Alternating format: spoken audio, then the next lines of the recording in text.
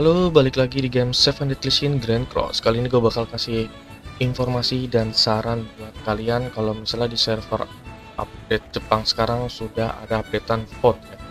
Dan sini informasinya kalau misalnya lihat sini di sebelah kiri langsung ada VOD di server Asia, global, Jepang maupun Korea. Jadi digabung jadi satu ya walaupun global itu updateannya minggu depan, cuman VOD untuk VOD itu udah pasti bareng, gak mungkin beda. Dan vote-nya itu waktunya dikasih tiga hari kalau nggak salah tiga hari apa dua hari itu bakalan selesai. Karena gue di sini main di PC nggak bakalan bisa ya jadi gue berupa gambar aja. Nah itu informasinya. Untuk masalah update nya sih nanti bakalan gue bahas di hari Senin aja lah ya untuk di server Asia dan global. Katanya sih ada hero baru ya hero, bukan udah pasti hero baru maksudnya katanya sih Escanor. Escanor yang yang baju ungu tapi versi Duan Ultimate versi Duan Ultimate tapi pakai baju yang kemarin udah ada list-list gambarnya ya? Oke untuk di sini gue pengen kasih saran buat kalian masalah vote-nya biar kalian tidak sesat ya. Gue yakin kalian takutnya nanti banyak yang vote gitu gara-gara kayak tahun-tahun kemarin ada BDM, Escanor, Escanor yang biasa, LR Oke di sini untuk festivalnya nanti kalian bisa vote festival itu Hero Festival maksud gua atau Holy War. 3 vote ya tiga vote jadi kalian bisa milih langsung tiga oke dari special Enif 5 tahun ini menurut gue lumayan bagus untuk pemilihan hero festival ya. Ada tiga Demon King Meliodas menurut gue untuk hero urutan pertama udah pasti Demon King Meliodas Tuan Ultimate sama Demon King nih kayaknya paling atas ya. Apa nggak Mael? Itu urutan tiga besar sih itu menurut gue. Cuman kalau bagi gue takutnya DKM kalah ya DKM kalah kalian pilih aja gitu cuman gue nggak yakin sih dia di di luar dari tiga besar. Kan nanti pasti diambil itu sama si net marble 5 5 hero ya. Gak mungkin semuanya. 5 kayak seperti sebelumnya. Dan ini udah pasti update besar-besaran. Yang gue saranin kalian itu pilih Queen Hill ya. Ini yang jarang keluar. Queen Hill itu terus Demon King Queen Elizabeth boleh lah. Queen Elizabeth boleh. Sama sisanya satunya lagi sesuai kebutuhan kalian. Tapi kalau untuk newbie bolehlah kali-kali Treator Melodas ditaruh lagi karena ini walaupun sudah banyak yang punya terkadang newbie sekarang tuh nggak punya untuk Treator Melodas soalnya Treator Melodas ini bagus banget buat PvE ya. Sedangkan Holy Relicnya itu belum muncul. Kalau udah Holy Relic Holy Relicnya muncul kemungkinan ini bakalan OP lagi atau bisa dipakai lagi. Ya, gue masih penasaran nih pak.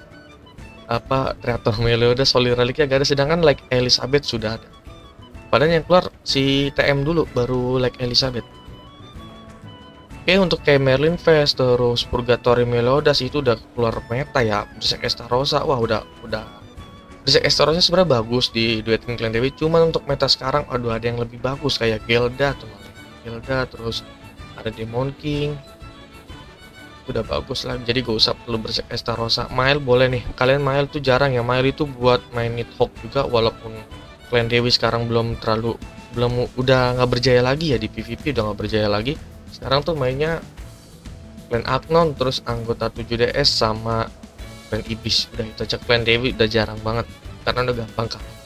Nah ini jadi yang gue saranin kalian Queen Hill ya. Queen Hill boleh Demon King Melodas terus Queen Elizabeth Transcendent Ban Mile Demon King ya.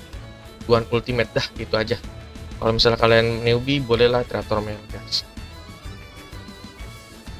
Oke, itu untuk Aero Festivalnya total 3 vote ya. Jadi itu setelah kalian. Oke, untuk yang normalnya dan ini yang normalnya lumayan banyak. Gue harap kalian di sini jangan sampai pilih dan untuk kesempatan vote di normal itu 5 kali, 5 kali. Oke, dari yang pertama di sini Melas Pula Hijau kurang ya. Itu nggak terlalu berguna. Dan bergunanya buat akun endgame atau player GVG ya. Terus juga Elen juga dia buat GVG jadi ini buat kayak kayak yang kompetisi aja ya kompe aja. Jadi ini tidak terlalu worth it. Terus di Brunhill juga nggak bukan nggak terlalu worth it ya. Menurut worth it aja cuman jarang dipakai. Karena ini lumayan sih duet sama clan clan Ragnarok ya. Kau apa maksudnya pasif Ragnarok. Diana Summer nih boleh kalian wajib di vote ya. Karena ini buat main deathmatch walaupun sudah sering banyak pilihan-pilihan ya. Sebenarnya Diana Summer udah sering banyak keluar di pilihan hero gratis terus Eastin ini blunder nih. Ampas ya ini ampas. Terus sayangnya banget Valentinya yang warna merah bukan Valenti yang biru yang terbaru yang awaknya. Jadi ini dua ini kurang worth it. Terus list biru list biru yang speed juga ampas. King valentine boleh lah. Kalau kalian mau dapetin ini buat backupan kalian nggak punya Glock Xenia LR atau Skadi biru buat main di Tupai di rata stok Elizabeth yang warna merah ini yang God Elizabeth ya. Ini termasuk bagus buat PVE buat gantiin Kizuna. Kalau nggak ada tapi kan Kizuna kemarin rilis lagi dan pasti banyak yang punya Kizuna. Jadi ini kurang worth, worth aja gue usah di vote lah gue usah di vote. Um, Summer Freya Summer boleh lah boleh. Ini buat PVP juga tapi keunikannya. Cuma dia bisa jadi backupan Nidhogg ya walaupun pasifnya nggak bakalan aktif. Dia cuman aktif Holy Relicnya doang kalau kalian udah HR buat gantiin Freya merah aja kalau kalian nggak punya terus tapi ini ya jadi keduanya gak usah ya gak usah di vote nah ini dia untuk Margaret Summer. Margaret Summer ini wajib di vote menurut gua karena ini jarang banget muncul dan sekalinya ada Margaret Summer itu kalian lebih gampang main Nidhogg ya walaupun cukup pakai Margaret yang festival yang warna biru itu udah bisa. Cuman yang lebih worth it itu pakai Margaret Summer ya. Karena bisa hapus stance cukup rank satu aja untuk Merlin Halloween kurang worth it juga walaupun bagus. Ini bagus sih buat PvP ya karena dia bisa rank up langsung. Skill. Tapi dirinya sendiri ya dirinya sendiri langsung rank 2 di awal. Tapi skip aja menurut gua kita lihat yang bagus-bagus dulu ya. Yang wajib menurut gua si Margaret Summer dulu yang pertama.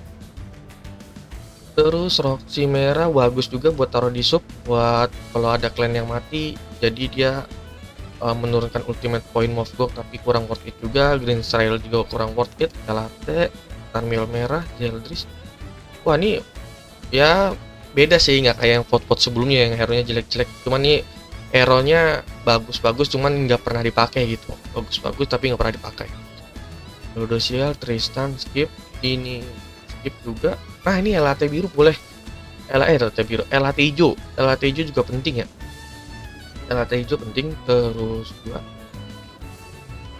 nah Jormungan juga penting nih sebenarnya ya buat kalian gue yakin sih udah banyak yang punya cuman kan ada beberapa kayak ada beberapa akun ya yang nggak punya Jormungan kalau gue udah sering banget ngejoki-joki itu akun orang tidak punya Megilda, tidak punya Jormungan, tidak punya Tonar, tidak punya uh, Megilda gitu. Jadi gue saranin kalian pilih hero yang demonik ya. Prayer juga bagus. Kita lihat nih sama Prayer. Oh, sampai tier. Oke, jadi pilihan gue menurut gue mendingan yang demonic piece aja ya. Tapi kok Megilda gak ada ya? Megilda biru gak ada cuy. Berarti Net Marble itu udah menganggap kalian udah punya Megilda biru banyak ya. Jadi tidak perlu. Nah, di sini pilihannya satu Margaret Summer, dua Jormungan, tiga red toner kalau kalian nggak punya toner nih wajib ada toner kalau kalian gak ada toner kurang sih tapi ingat ya yang kemarin tuh gue bahas di uh, tim tim tim tim itunya pakai LR Elizabeth. Terus si Freya. 2 3 4 4 baru 4 coy. Baru 4 ya satunya lagi bebas setelah kalian ya. Boleh pak boleh pilih tir Roxy Chainsaw nih. Roxy Chainsaw atau Freyer dah gitu aja. Sisanya wah itu mas skip menurut gua. Itu hero yang gampang didapetin ya. Jadi itu aja menurut gua yang hero-hero limited yang berguna di PvE buat hero-hero yang lain kan kalau kalian sudah punya Margaret Summer, Jormungand, Red Tonar, Red Freya itu udah pasti enak buat Holy Relic hero-hero yang lain. Jadi itu aja kalian jangan sampai pick. Kalau sampai ini peringkat satu sih kayak si Eastin ya Eastin peringkat satu. Melas pula peringkat satu Elaine yang biru peringkat satu. Terus Valenti peringkat satu yang merah. Wah parah sih.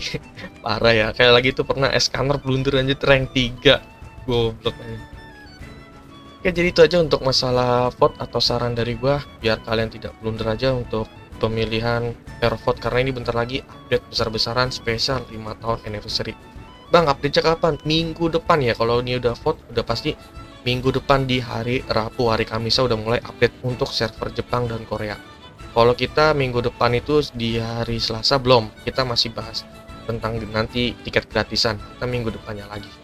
Di bulan Juni lah ya berarti. Biar sesuai kemarin udah gue bahas sih video sebelumnya. Oke, jadi itu saja untuk masalah vote saran dari gue. Apabila ada yang ditanyakan, kalian langsung aja di chat kolom komentar. Oke, sampai jumpa di next game berikutnya. Salam Grand Cross.